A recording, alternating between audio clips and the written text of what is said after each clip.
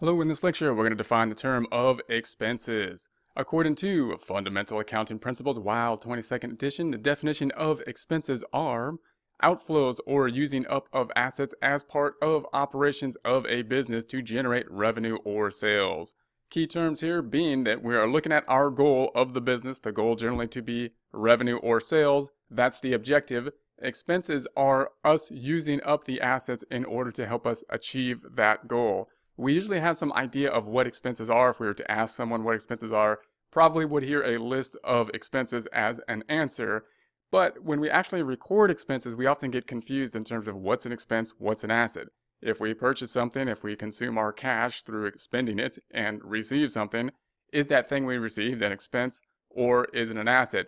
The point in time that we consume that uh, expense, that asset, and consume it, that's when it turns to an expense. For example, if we look at some common expenses, we can look at a phone. If we think about a phone, the phone itself might be an asset because it's going to help generate revenue in the future. The phone bill represents the stuff that we have used, the consumption of the use of the phone. That's what it's going to be an expense because we consumed that portion of it. If we think about a car, again, the purchase of the car is going to be a longer lived thing. It's going to be an asset the depreciation as we use it and the related expenses in terms of gas and whatnot, those are going to be things we consumed at that point in time. Those are going to be the expense portion.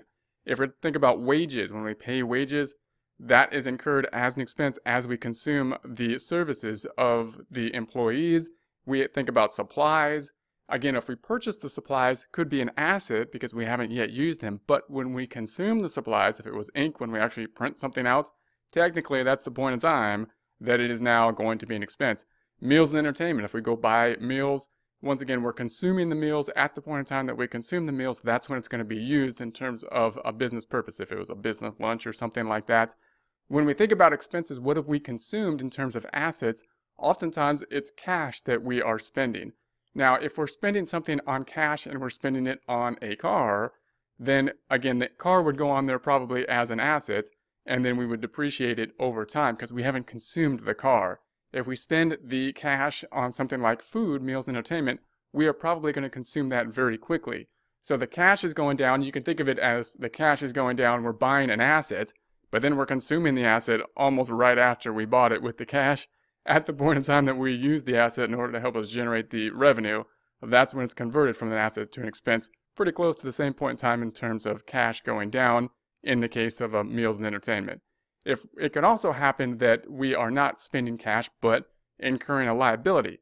If we purchase that meals and entertainment in terms of a credit card, we have not yet paid for it, but we've still incurred an expense. Why? Because we basically purchased it incurring the liability, and then we consumed uh, the asset that we purchased right afterwards, the meals right afterwards. Therefore, at the point of consumption, in terms of helping us generate revenue, that's when it has been used uh, a loan also could be going up. So it's possible that we pay for the expense, of course, with the cash, or it's possible that we pay for the expense with the incursion of a liability.